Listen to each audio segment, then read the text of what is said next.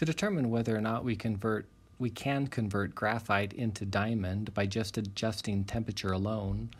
we need to figure out whether or not